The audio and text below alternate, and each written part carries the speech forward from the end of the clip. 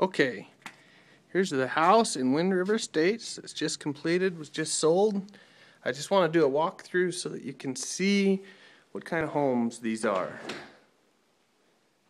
This house was custom designed by this buyer.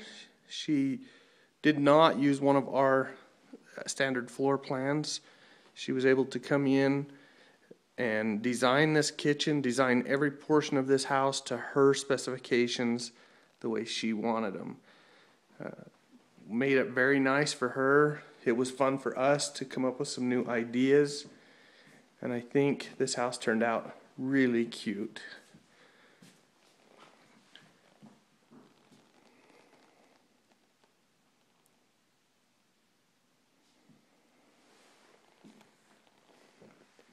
It comes right back around here through the kitchen to your back entry and into the laundry room off the back. That's where she wanted her laundry room in this home.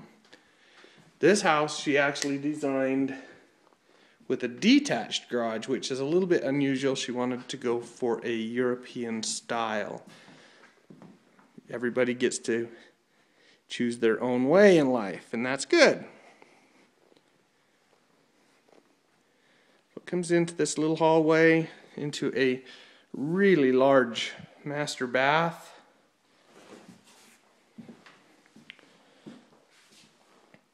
Now, these homes are USDA homes. It's the USDA financing. So, granite countertops were not an option. Um, that's okay. She preferred the pedestal style sink in this bathroom, anyways. She has two bedrooms on the main floor. Um, once once you have purchased the home, it is totally legal to to remodify these bathrooms. You could you could put jetted bathtubs in. You can do basically anything you want to do. But during the process on the USDA lending, it it has to be what they call modest. And modest does not mean low quality. This home has highest of standard of building materials. Um, everything is is really well put together. I'm very proud to work with Hillside Homes on these on these homes.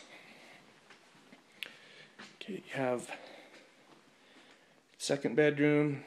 Obviously, we just came from a master bedroom, back around to that bathroom, the living room, and then let me back up so that you can see.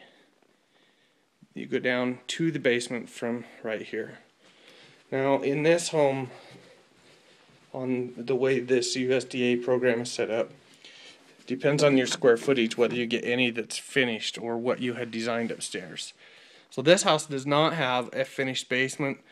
You can, with the way the new USDA program is set up, um, have a finished basement up to 1,800 square feet total floor.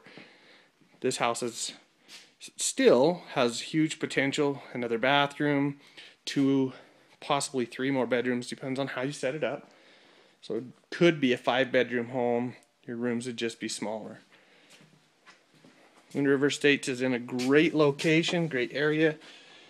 Um, Shelley is a wonderful place, but it's not just Shelley. Uh, as long as it fits in the USDA rural development areas, which is all of Bonneville or all of Bingham County, Jefferson County, and portions of Bonneville County, you can you can build a home in this in the USDA program. So let me give you a kind of a quick view of outside if the sun's not too bright. That adjust. So we have new construction homes. It is a new subdivision. Great area, great location.